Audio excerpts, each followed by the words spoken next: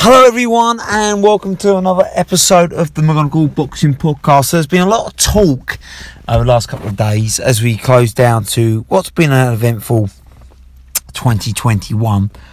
Who deserves to win the Fighter of the Year?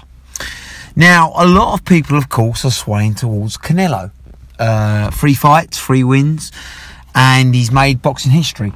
You can't begrudge him that. He's undisputed super middleweight champion. Not not even the great Joe Calzaghe uh, did that. So yes, Canelo certainly deserves to be mentioned. Um, I think there's been other outstanding fighters. Lomachenko's had a fantastic year. Uh, Tyson Fury with an epic trilogy win. Um, you know, there's young guns such as Devin Haney uh, is defending his title uh, in you know convincing manner.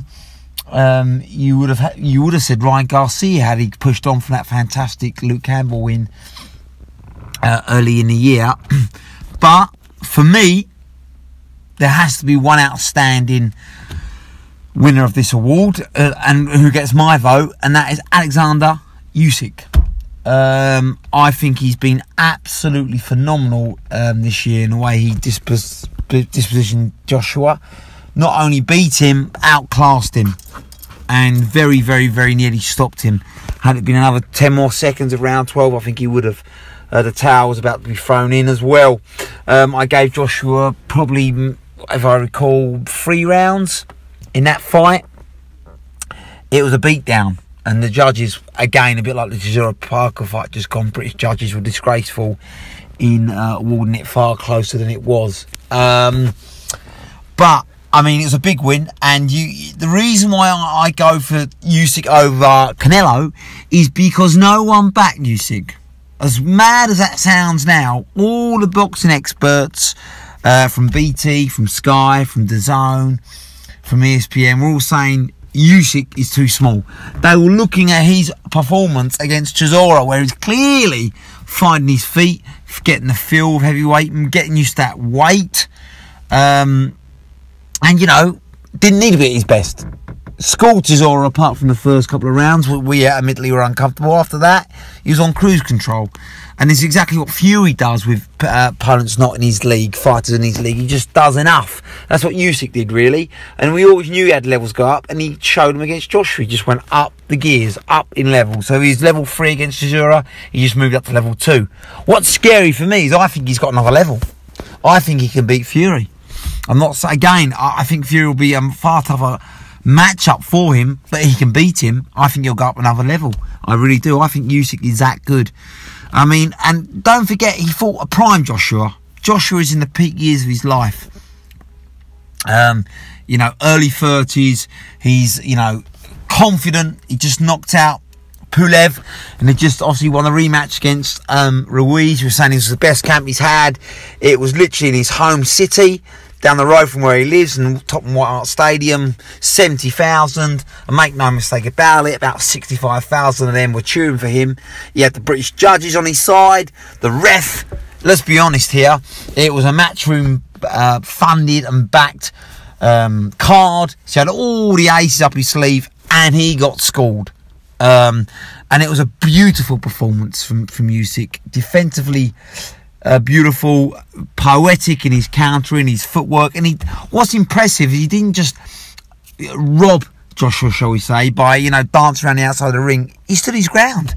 He stood the centre of the ring. Come on, let's have it. And he beat uh, uh, Joshua to the punch every time. Um, and what people didn't realise is Usyk hurt Joshua. He could sting him you know, 15 and a half stone man, but speed and timing. And, and a lot of the time, Joshua didn't see that speed coming. It was too much. Um, he was flat footed, and yeah, Joshua was poor. He should, I agree, he should be more aggressive. But ultimately, when you keep getting beaten to the punch, keep peppered, and get stung, which Joshua did in the first round, it was like a shock, wasn't it? He's been hurt. He, this guy can hurt me. And so he went back into his shell and therefore got dominated the rest of the fight. But just a brilliant performance, and only the third man to become unified heavyweight champion of the world. And it's more impressive than David Haye, let's be honest, who beat the giant, Valuev, who could barely fight. Let's be honest, into compared to Joshua. I mean, what Usyk's done is phenomenal, and I, I, I put his achievement right up there with Evander Holyfield. I believe he deserves to be mentioned in, in the same bracket as Holyfield. I think he's that good, and I think time will show that. I think the only heavyweight that can beat him is Fury. I don't think anyone else gets near him. He's that good. So, um, credit Usyk. For me, gets the vote over Canelo. I don't know what you guys think. I know it's um and ah, I know a lot of people say, well, no, Canelo won fought three times, he won three times. Um, but his favourite against Yildirim, his favourite against Billy Joe, and his favourite against Plant. And I think Billy Joe wasn't at his best. I think inactivity has cost Billy Joe big time over the last couple of years of his career. I think, yes, he beat Plant, which is a very good win, but Plant gave him all kinds of problems. And a lot of people, including myself, had the fight all siding towards Plant. I think you could visibly see Canelo getting frustrated. He was saying things in the corner. Uh, he was urging Plant to come on. He was getting frustrated. And I think the flaws the Mayweather showed are still evident there. He doesn't like a fast, slick mover. And, and unfortunately for Plant, he just A, tired out, and B, got caught. Um, you know, and that was all she wrote. And he had to be flawless for 12 rounds. He very nearly was, but he got caught in the 11th. But that win for Canelo, although he finished the job beautifully, was not as impressive as what Usyk did to Joshua. Um, I don't think. And it wasn't as one sided. And I don't think the Billy Joe's fight was one sided either. I, I had Billy Joe even with Canelo up to that beautiful uppercut punch. But you know, I'm not taking anything away from Canelo. At the end of the day, he got the job done. He gets a win, and you know, he finds a way, and you have to credit him. And I can see why people would vote for Canelo. I'm not knocking that and his achievement. Again, he's made boxing history phenomenal. But I think Usyk's performance and win was more impressive, and I think to do it in the heavier weights as well, where you know he's fighting a bigger guy, he's moving up, he's he's underdog against Canelo, who was the bigger guy certainly um, in his his uh, fight with Plant and Saunders, physically bigger and the huge favourite, and you know against Billy Joe and Plant in Texas and in Vegas. He had the backing, the big support, and the whole, you know, Canelo machine behind him with the judges and the officiating. Usyk had none of that.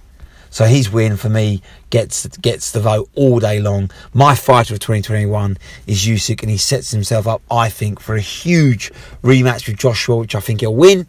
Won't be easy, but he'll win. And then the undisputed Fury that I think could go either way. So congratulations, Usyk. Big money fights for 2022. He might just win 2022 fight of the year. That's how good he is, but he certainly gets 2021 for me.